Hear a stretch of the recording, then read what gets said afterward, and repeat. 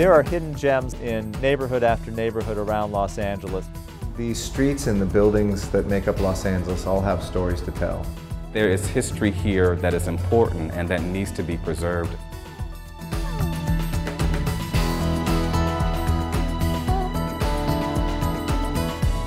Survey LA is the first ever comprehensive Los Angeles Historic Resources Survey. It's our first opportunity to go throughout Los Angeles and identify those sites of architectural, cultural, and historic significance.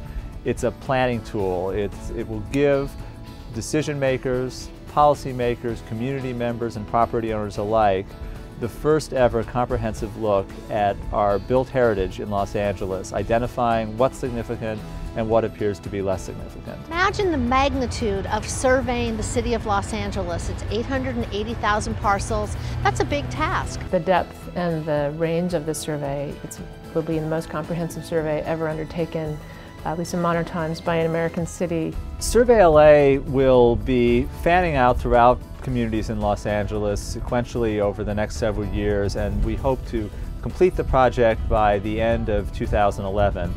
Survey LA simply would not be possible without the partnership of the Getty. It was the, uh, the Getty Conservation Institute that over the last several years really laid the groundwork for this project. The staff of the Getty Conservation Institute are intimately involved with colleagues at the city who are leading this project in the Department of Historic Resources, but as well, a major grant, matching grant, was made from the Getty to the city to support the project for five years. Los Angeles doesn't have a systematic inventory of its resources, so we thought, well, that might be a way we can contribute to Los Angeles and to give something back to the community. Right now, less than 15% of the city has been surveyed, and so we just don't know where all the historic buildings are. We don't know the stories, we don't know the buildings, we don't know, you know, the architects that, that make our city what it really is and what is so special about it.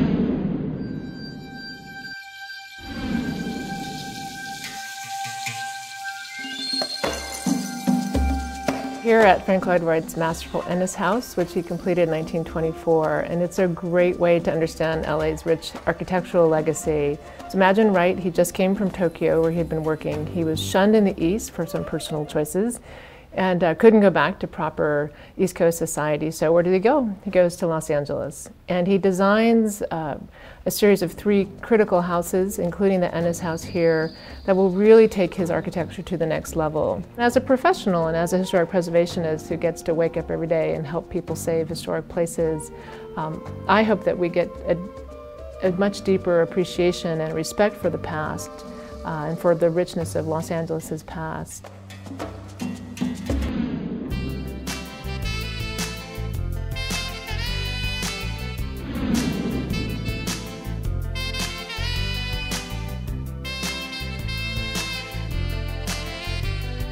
Balboa Highlands was uh, developed in 1963 and 1964 uh, by the developer Joseph Eichler. The architects were A. Quincy Jones and Frederick Emmons, who were prominent architects in the modernist movement.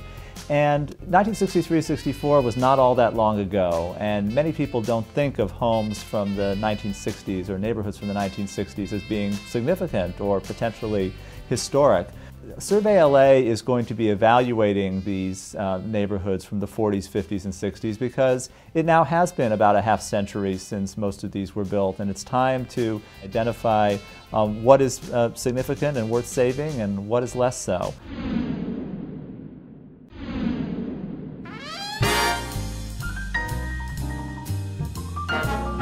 Central Avenue, um, for African Americans, this would be the first place that you would actually come. A place where you could actually meet anyone um, that you were looking for was Central Avenue. It was really a home place where if you were brought to Los Angeles because of the lure of jobs and sunshine and kind of a relaxed racial atmosphere, you knew that Central Avenue had people that looked like you, um, folks that were actually buying homes that had the highest home ownership rates in the country where 36% of the population actually owned homes in Los Angeles. And so this represented economic freedom, racial freedom, a kind of life where you could have um, work in the daytime and entertainment at night, where you had everyone from Billie Holiday to Ella Fitzgerald to any major star that you could bump into on Central Avenue. And it became the playground of Los Angeles because of all the entertainment. And so really became this kind of um, world center when you really think about it for Hollywood and entertainment at night, much the same way that Harlem functioned um, during the same time period.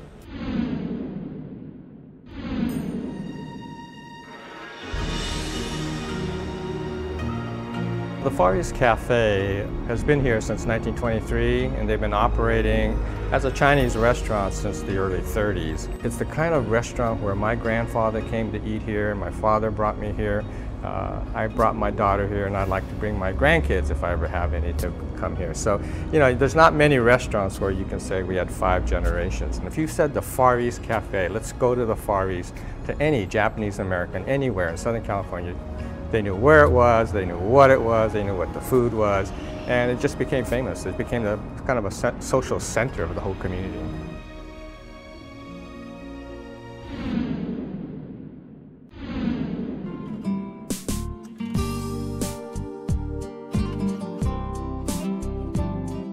This is a marvelous example of a Episcopal church built in 1888.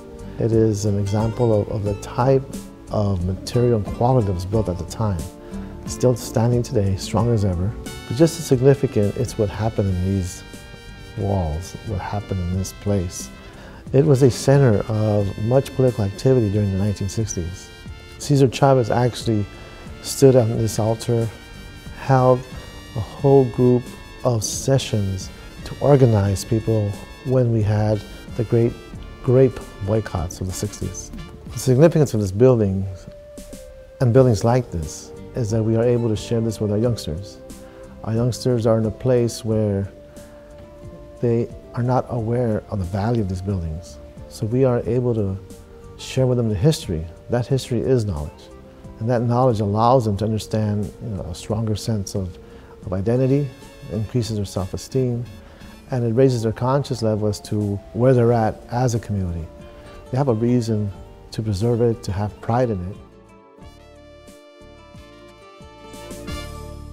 Historic preservation is about much more than just aesthetics, about beautiful old buildings that are worth preserving solely for their uh, beauty and architectural character. Historic preservation is also important because it's about our economic development. It's about um, revitalization in our communities. It's about using the history of our city as a, as a marketing tool to attract visitors and attract um, economic reinvestment. The older side of downtown, when you get into the historic core and even further east, um, those are areas of the city that have uh, stood in for virtually every city on the East Coast, other countries. You know, Prestige would be a good example. It was a movie that was shot about two years ago downtown on Broadway. The entire movie took place in Victorian era London. Um, but because of some of the grand movie palaces there and some of the older buildings, it was able to fit right in as uh, turn of the century London.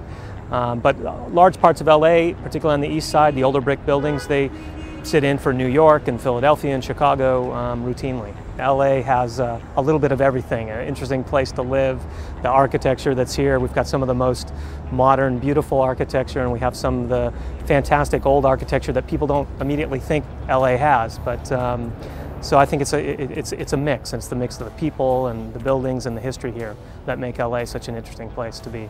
Having these older buildings here selfishly for, for Film LA and for the industry is a benefit because uh, it allows people to do some uh, filmmaking here that they might have to go elsewhere um, and do if we, if we don't keep and restore and you know, hang on to these uh, buildings.